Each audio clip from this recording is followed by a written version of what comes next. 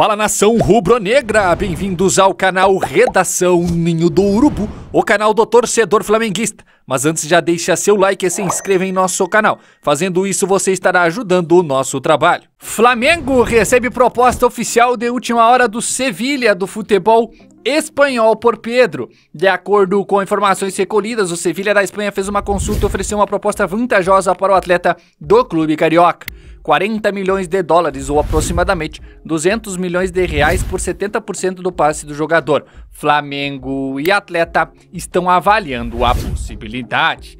E tem atualização mercado da bola, empresário viaja e Lucas Moura se aproxima, de acordo com o Flamengo.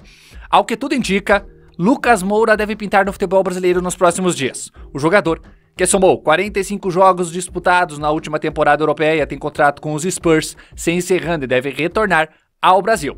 Lucas já demonstrou em diversas oportunidades sua vontade em um dia de jogar pelo Mengão. O jogador, inclusive neste ano, assistiu a vitória do rubro-negro carioca frente ao Corinthians, no Maracanã, como um verdadeiro torcedor. Informações da imprensa internacional afirmam que o empresário Júnior Pedroso, que tem boa relação com o mais querido, vai a Londres nos próximos dias para discutir o futuro do jogador. O Flamengo vai apresentar uma proposta para contar com o atleta. A oferta consiste em contrato de 3 anos e salário na casa de 1 milhão e 600 mil reais por mês. Na temporada 21-22, Lucas disputou 45 jogos, marcou 6 gols e deu 8 assistências.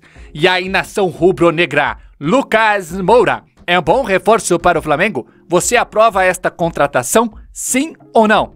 Deixe a sua resposta nos comentários, a sua opinião ela é sempre muito importante aqui para o nosso trabalho. No mais, eu te agradeço pela audiência, canal Redação Ninho Urubu, tudo sobre o Mengão Boladão.